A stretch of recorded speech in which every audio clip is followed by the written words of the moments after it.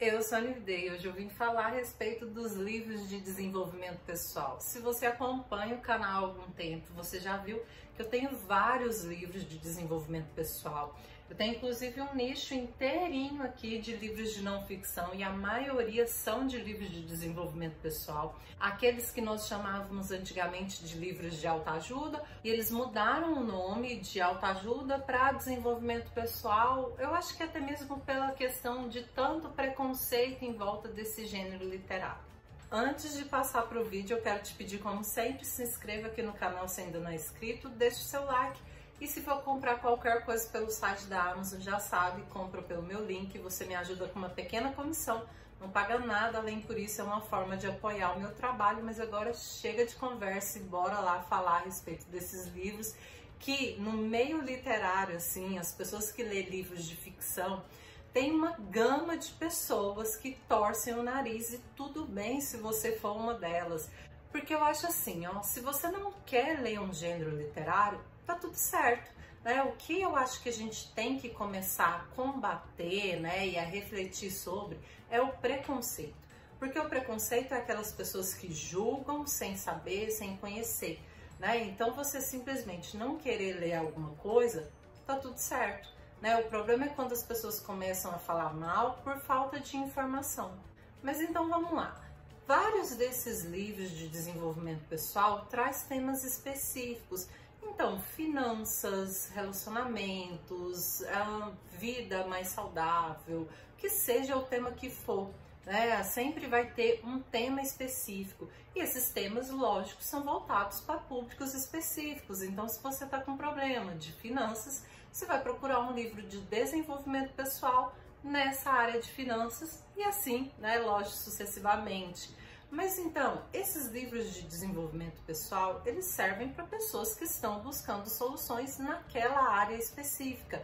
E às vezes as pessoas, elas querem uma dica rápida, uma dica simples, uma dica de um profissional, mas não uma dica aprofundada. Ou mesmo essas pessoas não têm condições de pagar um profissional da área para fazer, tipo, sei lá, uma mentoria mais específica, uma coisa mais presencial ali. Então essas pessoas vão buscar nesses livros a resolução dos seus problemas. E o que acontece é que muitas dessas pessoas reclamam que esses livros ou às vezes não dão certo, Coisas que eu já vi aí por aí, é tipo, ah, eu li e minha vida não mudou. Ou esses livros de enriquecimento só servem para enriquecer o autor. Isso eu já ouvi demais, gente, muito mesmo. E várias outras coisas, né, desse tipo, ah, isso é só enganação, isso é, né, uma pessoa charlatã, né, essas coisas assim, a gente sempre escuta a respeito, né, de autores que escrevem esse tipo de livro. Eu leio, como eu disse, eu tenho um nicho inteiro ali na estante. É lógico que é bem pouco se comparado a todos os livros que tem aqui. Tá vendo aqui, né, as minhas estantes? É um nicho desse aqui só de desenvolvimento pessoal. O resto é tudo de ficção. Então, por mais que eu leia, não é o tipo de livro que eu mais leio na minha vida, mas eu gosto muito. Né? E eu já tive vários aprendizados em vários livros que eu falei assim, nossa, né? Coisas que realmente serviram para minha vida. Teve livros que foi só mais do mesmo, gente. Como eu leio muitos livros assim, e alguns nem estão aqui, né? Eu já li muitos em e-book também. Mas o que que acontece? É, muitos desses livros me trouxeram ensinamentos, outros foi aquela coisa de mais do mesmo, você pegar um livro de, sei lá, 200 páginas que poderia ser resumido em 10 né? E o resto do livro foi maçante, foi repetitivo. Isso eu já vi demais, acontece mesmo. Mas olha, assim como tem livros de ficção bons e ruins, vai ter livros de desenvolvimento pessoal bons e ruins também. Vocês concordam comigo? Em qualquer tipo de livros, de gênero literário, de seja o que for, você vai ver os bons e os ruins, é claro. Agora, uma coisa que eu preciso falar, isso é muito sério, gente, é que às vezes as pessoas reclamam, mas elas não colocam em prática um terço do que é falado no livro. E aí elas reclamam que o livro não ajudou elas, mas elas não colocaram nada em prática. Então, como você pode falar que o livro não te ajudou? Se você não foi com ele para a prática, sabe? Se você não colocou aqueles ensinamentos no seu dia a dia. É claro que nem todos os ensinamentos que está dentro do livro você vai conseguir aplicar, mas e se você aplicasse pelo menos metade do que é falado ali? Né? Às vezes tem livros, eu vejo muito, né? Aqueles livros de finanças, de você correr atrás dos seus objetivos, criar uma empresa, ter o seu próprio negócio. Tem muito daquela coisa de acorde 5 da manhã, faça exercício, medite, né? Coloque, sei lá, uma música, uma afirmação. Enfim, tem todo um ritual que alguns livros apresentam. E essa coisa do acorde 5 da manhã, faça exercício físico, tire um tempo de meditação, leitura. Nossa, gente, leituras, a maioria desses livros fala muito sobre isso. E aí eu vejo que o quanto disso você coloca em prática. Mas eu acho que não é só a parte de acorde 5 da manhã. Né? Tem todo um restante do que você tem que fazer. Porque olha, esse ritual matinal que a maioria desses livros colocam é bom? Sim, tem seus benefícios. Se você colocar em prática durante ali um período de 30 dias, você vai observar alguns benefícios. No começo vai ser muito difícil. Eu imagino que uma pessoa que não está acostumada a levantar às 5 da manhã, para ela começar a levantar, fazer atividade, né? E, enfim, meditar. No início vai ser desafiante, vai ter momentos em que ela vai querer desistir. Mas acontece que a partir do momento que aquilo vira um hábito, ela vai perceber os benefícios daquilo. E aí em várias outras áreas também, sabe? Se você olhar livros de desenvolvimento pessoal em outras áreas da sua vida, se você colocar em prática, você vai ver que os benefícios eles vão vir. Mas é importante colocar em prática, né? Adapte também, tem coisas que nem sempre vai ter como você colocar. Então imagine uma pessoa que trabalha de madrugada, né? E chega em casa, sei lá, às 5 e meia da manhã. Não dá para ela acordar nesse horário, mas o que ela pode fazer? Qual o período que ela pode colocar para meditar, para leitura, para exercício físico? Né? Então, acho que é essa a questão. Você saber colocar aquilo na sua vida em prática e você realmente né, fazer aquilo. Porque também né, a pessoa fala, ah, eu li o livro e não me adiantou nada.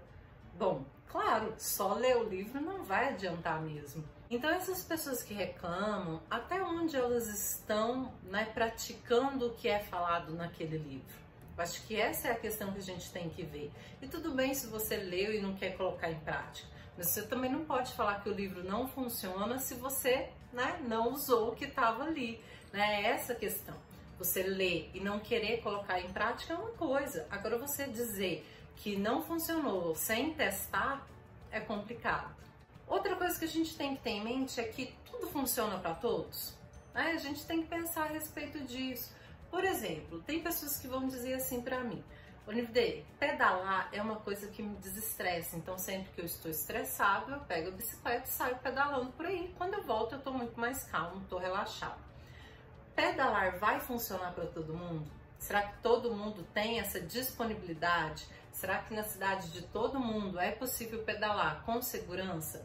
Né? Quais horários você tem disponível para pedalar e desestressar?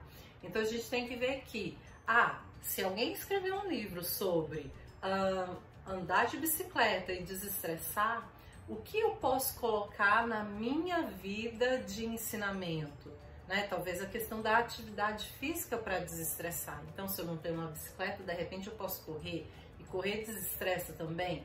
Mas todo mundo pode correr, né, ou quer correr, algumas pessoas vão ter mais predisposição para outras atividades. Então, tá vendo? A gente tem que saber adaptar as coisas à nossa vida também. Pegar esses ensinamentos e como eu posso colocar na minha vida. Ah, eu não posso colocar dessa forma, mas que forma que eu posso colocar então?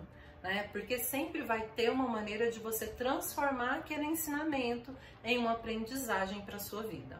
Então, o que eu quero refletir com vocês é mais essa questão de colocar em prática os ensinamentos que a gente tem, né? De você não simplesmente ler, de você se desafiar também. E às vezes algumas pessoas vão empacando um livro atrás do outro, né? E não colocam em prática o que está aprendendo.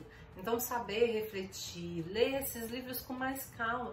Tem livros que às vezes eu leio assim, ó, super rápido, porque é muito bom mas aí eu me dou um tempo para refletir sobre aquele livro e depois eu pego ele novamente, vou lendo aos pouquinhos, vou anotando, né? Anotar também é muito importante, sabe? Pode ser, sei lá, em uma folha de caderno normal, numa agenda, onde você quiser. Coloque no papel os ensinamentos que você pegou ali, coloque no papel o que, que você pode fazer com aquilo, o que você pode colocar na sua vida, o que, que você pode modificar na sua vida que vai ser melhor para você. Então, essas coisas são importantes para que esse livro de desenvolvimento pessoal ele possa atingir o objetivo dele, né? Porque ele não é feito só para enriquecer o autor. Ele é feito para te trazer uma melhora na sua vida, como eu disse naquela, né, naquele tema específico do livro. Então, pense sobre isso, né? E se você gosta de livros assim, deixe aqui nos comentários quais que você já leu, que você gostou, que você indica. Vai ser ótimo bater um papo aí a respeito. Então é isso, pessoal. Um beijo e até o próximo vídeo.